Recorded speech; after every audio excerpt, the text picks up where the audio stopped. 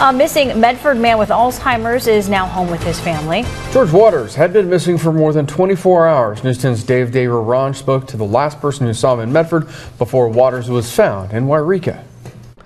On Sunday morning, 81 year old George Watters was reported missing from his Medford home. His wife says he hasn't driven in a year and has become lost in the past.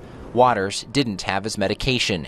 His wife says he took their family's navy blue Buick LeSabre with a full tank of gas.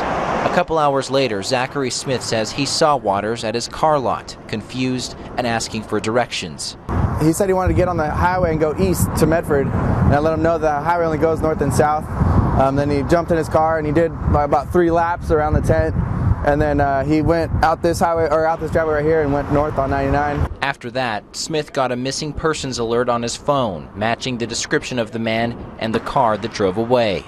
Jackson County Search and Rescue assisted Medford Police in the search. Unfortunately, what we've seen in the past is when individuals with this type of dementia do this, they ultimately become stuck or lost somewhere, and it's just going to be a matter of time if we could get to them or find them before they are, you know, exposed to the elements.